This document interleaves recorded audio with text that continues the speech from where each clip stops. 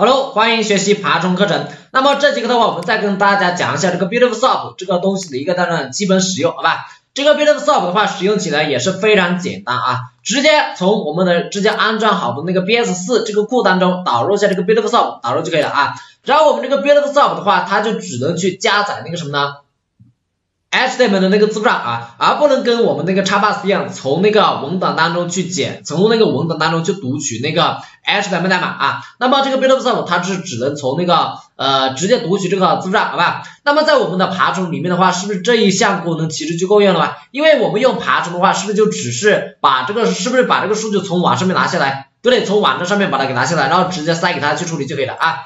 好，那么比如说我们这个地方有个这样的字串，对吧？是那个 HTML 代码的一个这字串啊。那么接下来我们就什么呢？直接将这个 HTML 这个代码扔到这个里面来进行解析啊。然后的话，这个地方要给它指定一个解析器，待会儿我们会跟大家讲到啊。好，那么接下来我们这个地方是为了跟大家讲一下这个简单的使用，所以的话这个地方直接打印那个一个 pretty，哎呀，就是说打印它啊，将这个字串把它给打印出来啊。那么如果后期我们真正需要要要去使用这个 Beautiful Soap 去提取一些元素的话，我们就需要使用到这个什么呢？这个 Soap 下面的一些方法啊，比如说有那个 Find 方法啊，有一些这样的 Find All 方法这些方法啊，就需要通过那些方法去查找我们想要的这些数据，好吧？好，那么这个的话就是像一个简单的代码哈，那么接下来我们在这个啊 PyCharm 当中再跟大家去讲解一下啊。好，来到我们的这个呃项目啊，这地方我新建好了一个项目叫做 Beautiful Soap Demo，那么以后我们关于 Beautiful Soap 项目的代码，我们就放在这个文件当中跟大家讲解啊。好，那么接下来我们来写一下啊，from 这个什么呢？BS 四啊，import 下这个 Beautiful Soap 啊。好，那么接下来我这地方定义好一个什么呢？定义好一个字串是呃是让它有六个引号，对吧？六个引号的话是那种。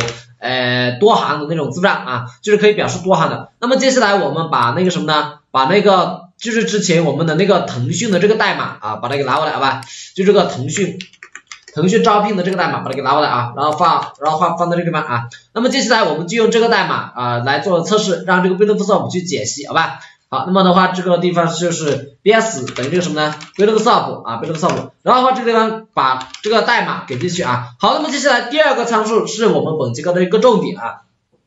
第二个参数的话就是什么呢？就是一个指定一个派指定一个解析器啊。那么我们现在的话使用这个解析器也是使用的是那个 LXML 这个解析器啊，使用的是也是那 LXML 那个解析器，好吧？那么我们这个 Beautiful Soap 的话啊，你默认也可以不不用不给它指定这个解析器。那么如果你不给它指定这个解析器的话，它就会使用这个 Beautiful Soap 它自带的一个这样的解析器啊。那么这个解析器它是用来干嘛的呢？它跟我们这个 Beautiful Soap 它是之间是什么样的关系呢？其实它们之间的关系哈，就相当于是一个啊 C 语言和那个 Python 语言的一个这样的区区别啊。大家都知道哈，Python 是用什么语言写的？Python 的话是不是用这个什么呢？用这个 C 语言编写的吧，对不对？那么我们这个 BS 和这个什么呢？和这个 L 产品有点类似于一个这样的呃原理啊。我们这个 Beautiful Soap 的话啊，BS 啊，我们这个 Beautiful Soap 它其实底层的话。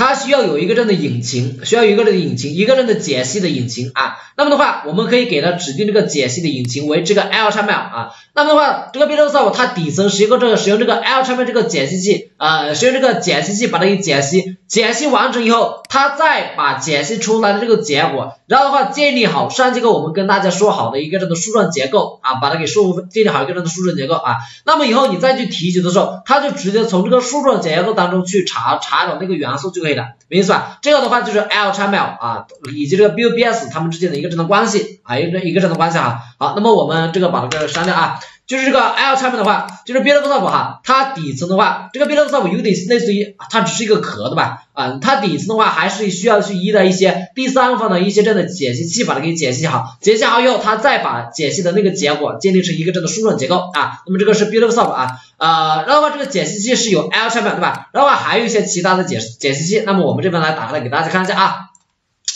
那么这里的话有安装解析器对吧？有这些解析器啊。呃，第一个解析器就是 Python 标准库啊，这个的话就是 Python 标准的一个这种解析器啊。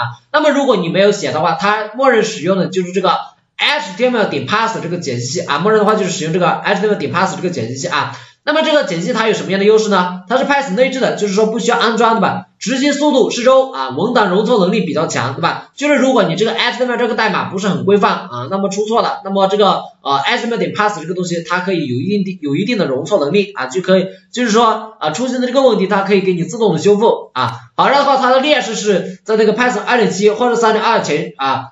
版这个版本之前中的中文文档中啊的版本中文档能文档容错能力比较差，对吧？就是在这些版本之前，他们的那个文档容错能力比较差啊，这就是它的劣势啊。然后接下来再来看一下第二个，第二个的话就是我们刚刚跟大家说到这个 LXML 这个解析器，对吧？这 LXML 这个解析器的话也是我们用的比较多的啊，用的比较多的啊。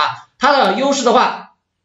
就是执行速度会比较快，对吧？容错文档容错率能力也比较强啊。缺点的话就是需要安装这个 C 云库，这个的话没什么话说，对吧？我们只要 import pip install L 产品的话就已经安装好了啊，已经安装好了啊。好，那么下面这个的话就是解析 XM 的，那么我们这里的话就不去介绍了啊。好，下面还有一个是那个什么呢？HTML HTML5 Lib 啊，这个东西它是有最好的容错性啊，因为 HTML5 的话它是拥有那个最好的容错性，就是你出了什么样的问题，那么这个东西它是。可以立即给你呃修复好的啊，修复好的啊，然后的话它是以这个浏览器的方式解析这个文档，对吧？这个 HTML5 Lib 这个东西就相当于是一个浏览器一样，对吧？呃呃，即在我们浏览器当中的话，你这个 HTML 这个代码哈，即使是写的非常不规范，那么我们这个浏览器它也能够兼容，也能够把它给显示出来，明白是吧？就是我们这个浏览器它即使你这个 HTML 的代码写错了啊，它可能啊，它可能显示不了，但是它绝对不会报错，明白是吧？我们这个浏览器它绝对不会报错啊。那么 HTML 5 HTML 5 Live 这个东西，它就拥有了这个什么呢？一个这样的属性啊，就是。